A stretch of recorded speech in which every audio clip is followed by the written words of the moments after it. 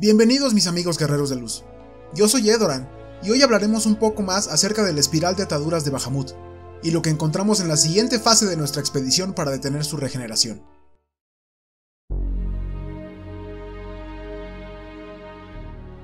Primero recordaremos qué fue lo último que encontramos dentro de la Tierra cerca de Wineport. Después de pelear con sistemas Allagan en las ruinas de un trozo de Dalamud y de pelear con Tintania sobre la palma de Bahamut, logramos acceder al centro de control de las instalaciones y descubrimos que las máquinas Allagan estaban regenerando el cuerpo de Bahamut poco a poco, curando sus heridas y trayéndolo de regreso. Estando ahí en ese lugar, vimos a Lu y Sua, aparentemente solamente observando. No tenemos una idea clara de por qué está aquí o de por qué sigue vivo. Después de que desapareciera en el éter dentro de Dalamud, Alicey dice que seguirá investigando sobre Bahamut, sobre cómo detener su regeneración y sobre cómo es que su abuelo sigue con vida dentro de Dalamud. Un tiempo después, Alicey nos envía un mensaje diciendo que encontró algo en el trozo gigante de Dalamud cerca de Falgood Float, en la parte norte del Black Shroud. Geográficamente, esta es la zona accesible más cercana a Cartenow, ya que la parte oeste del bosque está completamente destruida y no se puede acceder. Incluso se ven las ruinas desde aquí. A pesar de que claramente puede verse una estructura de Dalamud, nunca se había explorado esta área porque no se ve nada de interés, incluso al acercarse. Pero Alice se aventuró a entrar e investigar un poco más de cerca, y encontró trozos enormes de cristales corruptos, creando un desequilibrio etérico enorme. Al ir con ella más cerca nos dice que esta es la razón por la cual nunca se ha visto nada desde afuera, pues tal flujo de éter corrupto creaba distorsiones y alguna especie de ilusión. Pero más de cerca puede verse correctamente que hay una instalación Allagan bajo la tierra. En el camino hacia la instalación misma, encontramos una serie de golems que tuvimos que derrotar para poder encontrar alguna entrada por la cual continuar. Al fin encontramos un agujero en la estructura por donde entrar, pero al acercarnos encontramos a la Raflesia, un monstruo de tipo planta con grandes tentáculos que nos impide la entrada. No se sabe bien si este monstruo es una creación Allagan o fue creado por el desequilibrio de la región. La pelea duró poco, a pesar de que la bestia exhibía habilidades que no conocíamos y nos tomaron por sorpresa. Al seguir avanzando rumbo a la entrada, nos encontramos al Cuervo Blanco, al mismo Nael Van Darnus, legatus de la Séptima Legión Imperial, creador del proyecto Meteor y heraldo de la Séptima Era Umbral. Pero al mencionar este nombre, parece no reconocerlo nos dice que ese era el nombre del tonto que murió antes del inicio de la Era de Gloria, que no debería ser nombrado en este lugar. Parece que Bahamut lo renombró Nael Deus Darnus, como agradecimiento por llevar a cabo su venida. Parece que ha sido influenciado por Bahamut y por eso es su sirviente. Al mencionar el nombre de Bahamut y adorar su nombre, nos abre la puerta y nos advierte que este lugar es un templo Bahamut y que cualquier agresión será respondida por él mismo, y se tira de espaldas al vacío. Pero al ir a ver qué había pasado, nos encontramos con que no está por ningún lado. Debemos de seguir avanzando. Saltamos entonces a lo que parece ser un ascensor, en donde encontramos a Melusin, el primer guardián que encontramos dentro de esta instalación. Esta pelea no es tan fácil como pareciera, pues ocurren muchas cosas rápidamente y es bastante caótica en ocasiones. Al continuar por los túneles, Alice menciona cómo estos túneles se parecen a los que habíamos visitado previamente, y por lo tanto es posible que ya hayamos viajado una gran distancia y nos estemos acercando a la instalación donde peleamos con Tritania. También sospecha que dentro de Dalamud pudiera haber miles de miles de creaciones Allagan que funcionen como guardianes de sus secretos. Al continuar por estos túneles llenos de máquinas Allagan, encontramos al final al Avatar, a quien vencemos sin ningún problema.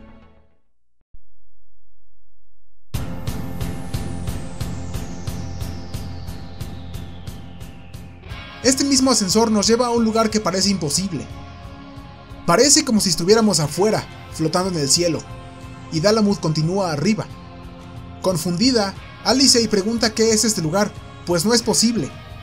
A lo que Nael Deus Darnus contesta que este lugar es el lugar donde murió Nael Van Darnus, y este también será nuestra tumba. Alice responde con un hechizo que le quita el casco a Darnus. Lo que vemos debajo del casco no es lo que esperábamos. Nael es en realidad mujer, con los característicos cabello plateado y tercer ojo de los Garleans. Nos explica que en la hora de la muerte de Vandarnus, al ser su éter arrancado de su cuerpo, una voluntad divina intervino y nació Deus Darnus, y resonaron las palabras de su dios en sus oídos. Trae a mis enemigos para que conozcan la desesperación sin final, y para que tengas tu victoria que te fue quitada de las manos.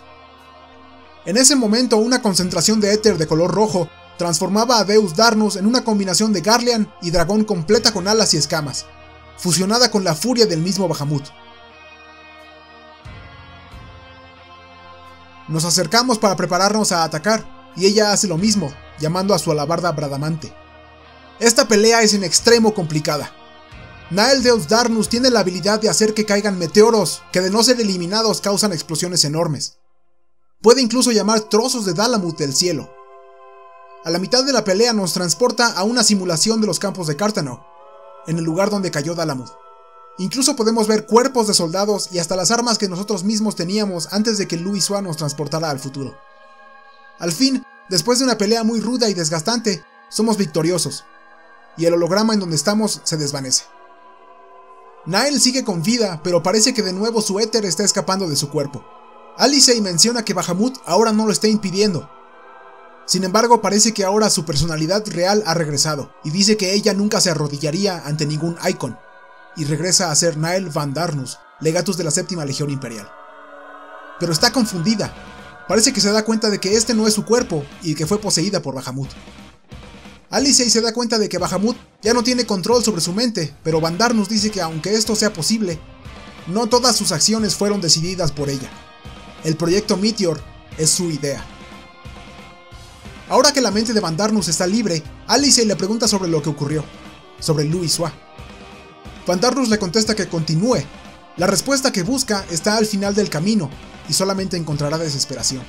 La luz de la verdad es dura y no perdona. Mientras está diciendo esto, desde arriba cae un rayo de luz que atraviesa por el pecho de Van Darnus, la cual solamente puede sentir una agonía terminal. Una voz se escucha y dice, Silencio, cuervo parlante, tus alas malditas están rotas y no volverás a volar. Las últimas palabras de Van Darnus antes de morir serían, Mi luna carmesí, tu brillo quemará mis ojos. Y una luz blanca disuelve su cuerpo. Alicey dice reconocer la voz, pero esta persona jamás sería capaz de decir cosas así. Nos dice que sigamos avanzando. Más adelante encontramos otro centro de control Allagan, y vemos entonces que Bahamut ha sido regenerado aún más. A este paso estará completo muy pronto. Al detener este mecanismo, esperamos alargar el proceso. Antes de acceder a los controles, Alicey se disculpa por haber perdido la esperanza durante la pelea con Deus Darnus, pues para ella su abuelo era un hombre para el cual no había imposibles, y aún así fue casi nada ante Bahamut. Pero ahora se da cuenta de lo que podemos lograr como guerrero de luz. Tal vez es eso por lo que Luisua murió. Entonces acciona los controles y la máquina se detiene.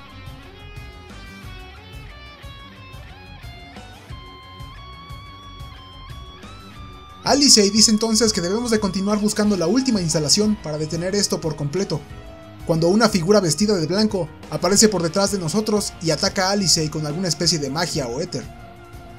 Alicey se levanta y reconoce a la figura como Louis Sua y le pregunta que si es su abuelo, entonces ¿por qué está haciendo lo que está haciendo? A lo que Louis Sua responde que Alicey debe de abandonar este plan, pues él no le permitirá más sabotaje de las máquinas.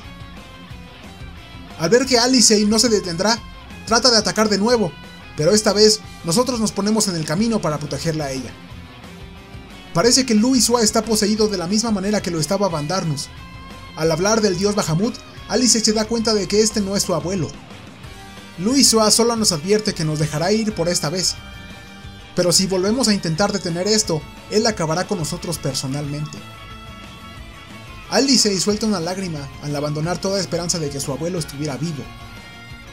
Y esto a la vez redobla su convicción por acabar con este asunto.